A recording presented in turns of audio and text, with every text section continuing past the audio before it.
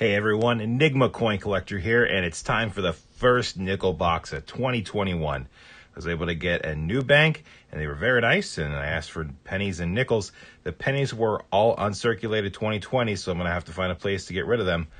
But the nickels are circulated. I checked on the bottom. It's the type of the box with the holes. There's a lot of older designed uh, nickels, a lot of worn nickels. So I'm really excited for the box. Hopefully we'll get at least a silver and a buffalo, maybe something else cool like a V nickel or who else knows what. Got that weird code CWI number 12. I've had this box before, but uh, that code before, but the code on here says the stamp uh, June 10th, 2020. So it's a little bit of an older box, if that is even the right date, but it is what it is. We're looking for those Buffalo nickels, the semi key dates, key dates, Silver War nickels, over mint marks, 09s, foreigns, errors, and varieties, you name it. We'll be searching for it. Nickels are my favorite coin to hunt, and I'm happy to have a fresh box to hunt here. Enough chit chat. Let's get ready to hunt with a live opening. I'll be keeping score below. The scoring method that I use is in the video description below as well. It was an easy tear job. And you can see what I see. And I don't see any enders at least apparent enders, but I do see a lot of the older style Jefferson nickels, a lot of war nickels, which is a good sign. And that one is a 70, but we'll search them all and we'll get started with roll number one and see if we got any finds in this box. Well, this should be a really good sign. Roll number one, coin number two, and we've got our first find of the box. And it's a 1957 worth a point. It's from Denver, but it gets us on the board just about as early as you can get with a box. Roll number two, we've got our second find at 1940 this time, and it's from Philly. So we've got our first 40s in roll two. Roll number seven is going to have our next find. It's from the 40s, and it's another 1940. This one's still from Philadelphia. Roll number eight. And now we're back on the vines. Another 52 from, no, I'm sorry, this is a 52. We didn't have one yet, but it is a 52 from Philly. Still on that same roll, and we had an ender, 1953, that we're going to keep from Denver. Roll number 10, our next find in 1941 out of Philly. Roll number 11, we've got a 1942 that had some gunk on the date, so I had to uh, use my fingernail to remove it, but it is a 42 non silver, unfortunately, uh, nickel out of Philadelphia. Roll number 13 had a 2009 Denver, which is nice, but roll number 14 is going to have something a little bit nicer. I saw the edge and I immediately knew what it was. Look at that. 1936 Buffalo nickel. Not in bad shape either. In a circulated coin box. Very nice date. Here's the back from Philly. That is a really nice you can uh, example. You can see the horn. Yeah, I will take that. Very cool to see a Buffalo nickel this early in the box in such great shape. Hopefully, we get some more finds. Either way, it's going on the board. Buffalo in the box. Same roll as that Buffalo nickel. We've got another find, a 1941 out of Philadelphia. We're still on that same roll. And we've got another find, and this one's from the 30s, a 1939 I had to flip it over to see the date, and I don't think I saw a mint mark. Yeah, there's no mint mark there. Would have been a key date had it been, but it's just a 39 Philly, and I don't see any doubling either. But yeah, definitely a 1939. Wow, what a great roll. Three finds, a Buffalo, a 30s, and a 40s. That is really, really cool. Roll number 19, we've got our next find, another 40s. This is a 40 eight, and this one is going to be out of Denver, I believe. Yep, 48 Denver, not a semi key date, but a fine nonetheless that we will be keeping. Roll 20 has a 1940. So our third 1940 out of this one box. This one from Philadelphia. Next roll, roll 21, another 1940. Our fourth one of the box. From Philly. Roll 22, and I'm recording this with the hopes of pulling a Silver War nickel. That edge looks promising. It looks green, it looks worn, and it's got the P above the Monticello. We've got silver in this box. All right, let me bring this up for you. Definitely a Philly mint mark. Silver War nickel in the box. It is worn.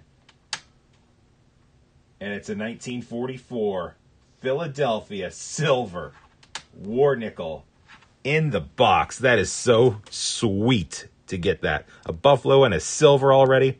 This is a good box. Put that right there and keep on hunting. Same roll as that silver war nickel. We've got an ender. It was facing inward, so I couldn't see that it was a 54 out of Philly.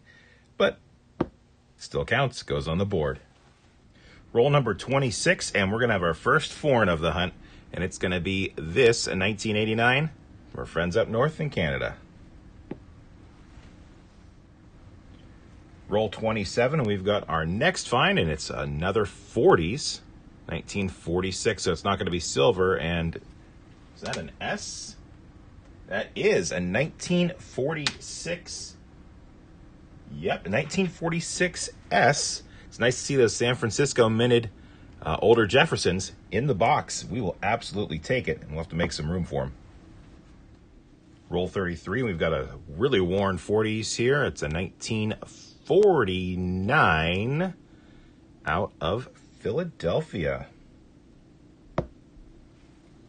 Roll 36, and we've got another find here, 1940, minted in Philadelphia. So we're adding to that stack. Next roll, roll number 37, and we've got a 47 that is pretty darn slick, minted in Philadelphia. And we're still in that same roll, and the ender looked old on the Monticello side, and it was an ender. It was a 1954 minute in Philadelphia. Roll number 39 has a 1939. Check this out. A second year Jefferson. If we've got a mint mark, we've got a key date on our hands. Can we get one? Ah, nope. Just a Philly. We'll check for that doubling, though. No dice, but it's really cool to see a 30s Jefferson in the box. And that's actually our second one. So two 39s in the box.